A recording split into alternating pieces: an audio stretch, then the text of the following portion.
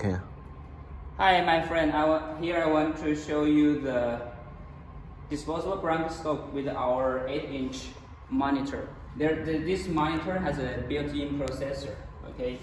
Now I'll show you how to operate this one. The imaging is very good. Now you can see the glottis and uh, we can insert it very smoothly. Okay, okay, the imaging is also very impressive. Now, next part I will show you connect this part to this big string.